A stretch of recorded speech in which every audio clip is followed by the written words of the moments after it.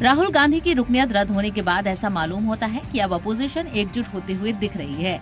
जहाँ एक तरफ़ पीएम मोदी ने कहा कि कुछ जमातें करप्ट लीडरों को बचाने की मुहिम में लगी हैं, तो वहीं अपोजिशन उनसे अडानी मामले पर जवाब मांगते हुए नज़र आ रही है। भ्रष्टाचार के खिलाफ जो अभियान चलाया उसने आज भ्रष्टाचार और भ्रष्टाचारियों दोनों की जड़ें हिला दी है। भ्रष्टाचारी तो वो खुद है। एक लुटेरे लोगों को जो लोग भगोड़े हैं, यहाँ के पैसे लेके गए हैं, बैंक लूटे हैं, कर्जा, यानी इंडस्ट्रीज़ के नाम पे, इन्वेस्टमेंट के नाम पे चंद लोग बैंकों से एलआईसी से पैसे उठाकर अपनी संपत्ति बढ़ा रहे हैं और चंद लोग तो भाग जा रहे हैं। उनके पीछे तो ये नहीं गिरे।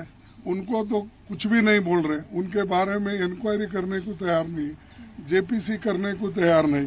तो क्या वो करप्ट है? करप्ट लोगों के साथ मिले हैं? क्या हम? तो करप्ट लोगों को सपोर्ट वो कर रहे हैं। ये चोर उल्टा कोतवाल को डांटे, ऐसी बात हो रही है। राहुल गांधी मामले में अक्सर अपोजिशन पार्टियाँ एकजुट हैं और मरकजी हुकूमत पर सवाल उठाते हुए नज़र आई। खड़गे साहब के यहाँ हम लोग नहीं गए थे, ये सच है।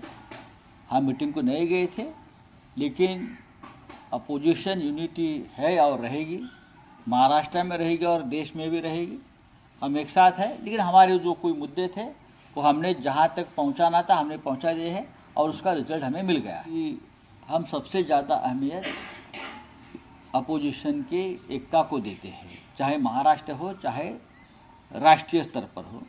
महाराष्ट्र में जो महाराष्ट्र विकास आघाड़ी है, उसमें हम एक महत्वपूर्ण भूमिका निभा रहे हैं और राष्ट्रीय स्तर पे भी हम लोग सभी विपक्ष के साथ हम रहेंगे। जो सवाल पूछता है, उसकी लोकसभा की सदस्यता रद्द होती है, उनका घर खाली किया जाता है, उनको दो साल की सजा होती है, क्या यही है आपकी डेमोक्रेसी? वहीं लोकसभा स्पीकर ओम बिरला के खिलाफ अपोजिशन पार्टियाँ तहरीक अदम एतमाद ला सकती हैं। जराये के हवाले से ये जानकारी मिली है। राहुल गांधी की रुकनीत खत्म करने और सदन में जानबदारी का इल्ज़ाम लगाकर लोकसभा स्पीकर के खिलाफ सोमवार को नो कॉन्फिडेंस मोशन लाया जा सकता है। लेकिन कुछ कुछ आ, पहल ऐसे लिए जाते हैं सदन की तरफ़ से।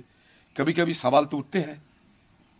तो ये सवाल को लेकर विपक्ष के जो नेतागण है उसमें चर्चा स्वाभाविक है। और नो कॉन्फिडेंस मतलब अविश्वास की प्रस्ताव की बात किसी ने कहे होंगे ऐसा नहीं। हम मेंबर होने की ये सोच भी रहे हैं। लेकिन इसका मतलब ये नहीं कि अविश्वास प्रस्ताव आ गए हैं, पारित होने वाला है। सर इनकी इनकी तो ज़्यादा रंगदारी संख्या के बल पे ना।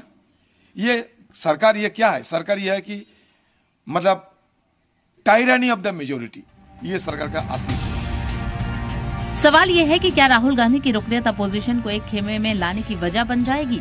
क्या जो तीसरा मोर्चा सुखबुगाहट थी, वो अब दब जाएगी और मरकजी हुकूमत के खिलाफ सब मुतहिद होकर एक साथ आ जाएँगे। Bureau report, Zee media.